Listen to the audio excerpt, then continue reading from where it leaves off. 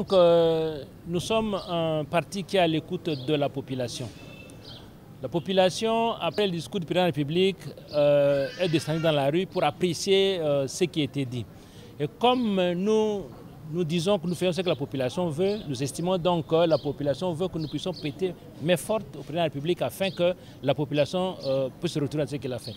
Voilà pourquoi le président national a effectivement accepté de faire partie de l'Union sacrée, avec espoir que sa touche, la touche de son parti politique pourra amener un bien-être social à la population.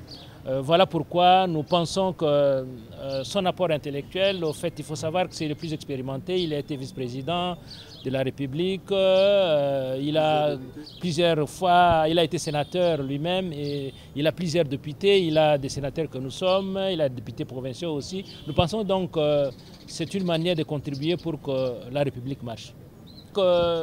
Quand nous étions à Genève, nous avons dit que nous allons propulser un candidat qui devienne président de la République parmi les candidats que nous avions au niveau de la MOCA. Euh, nous avons au niveau de la MOCA désigné euh, Fayoulou comme euh, candidat président de la République. Les élections se sont tenues. Il y a eu contestation. Nous sommes allés à la Cour constitutionnelle. La Cour constitutionnelle a proclamé Félix comme président de la République. Nous disons que comme nous sommes des républicains, nous n'avons que notre justice, on n'a pas une autre justice.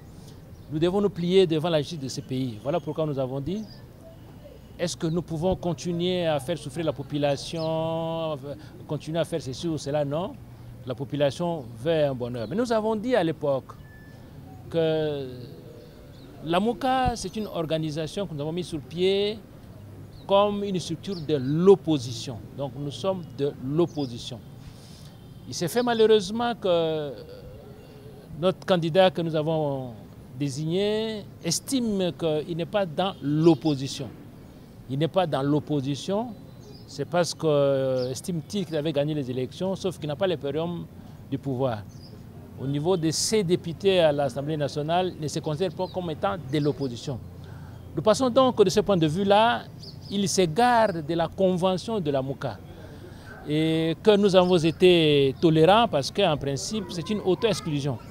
Nous disons que maintenant, si nous prêtons main forte au président pour euh, que la population se retrouve, nous disons donc qu'il n'y a pas une opposition à faire. À ce moment-là, nous prenons la machine, nous, aidons le président à aller de l'avant, nous sommes dans l'Union sacrée. À ce moment-là, c'est la désagrégation de la structure. Donc nous pensons qu'à ce niveau-là, sous le plan analyse structurelle, c'est ça la réalité.